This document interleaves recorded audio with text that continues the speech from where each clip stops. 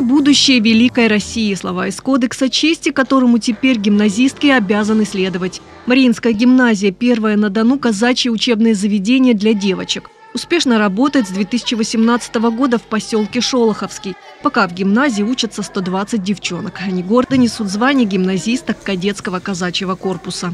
Это третий наш набор. И в этом году мы делаем первый выпуск 11, 11 классниц. 11 выпускниц будут заканчивать школу.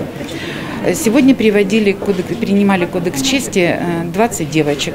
Плавание, легкая атлетика, шахматы, рукоделие, рисование, занятия с барабанщицами и фланкировщицами. При желании юные казачки могут освоить прыжки с парашютом. Здесь уверены, что качественные и разносторонние знания помогут им в будущем стать профессионалами и востребованными специалистами.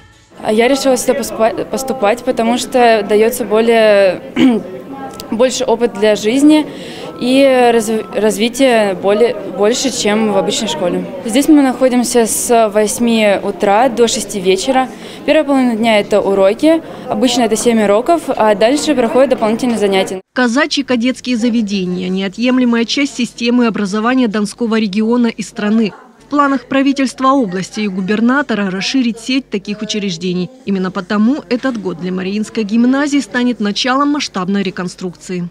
Это строительство и спального комплекса, и столовой, и спортивного зала, и технических помещений. То есть к 2023 году мы надеемся, что Мариинская гимназия будет полноценным, большим учебным заведением круглосуточного пребывания воспитанниц, и количество будет порядка 250 человек.